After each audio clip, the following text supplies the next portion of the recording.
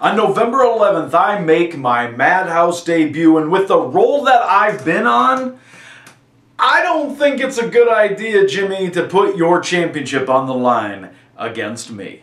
Is it still considered cliche to do like that Ultimo Dragon pose with all the belts hanging off your arms? Because, I mean, I'm getting pretty close to being able to do that. This could go down as one of the greatest debuts in history.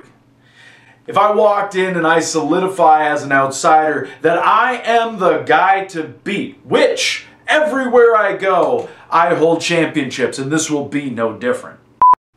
I love the name Madhouse Wrestling because if there's one thing I'm really good at, it's making the entire house mad. You know, everyone normally leaves there being upset, and when I win that championship, I know there's going to be a lot of very angry people there, which is great for me. And Jimmy, I have no intent to make this personal. I'm just coming to win and capture championships. That's that's the business that I'm in. But if you happen to want to step it up a notch, the Mayo Clinic's right there if you want to stay overnight. Having a hospital close by is definitely a perk when you run a wrestling show. Remember when Luger attacked Sting and he stole an ambulance to come back? I mean, he still made it in time for his match with Rude. I mean, this will it won't be like that because except for I will I'll win a championship, but uh, I mean he won't have to Jimmy won't have to steal an ambulance. I don't think.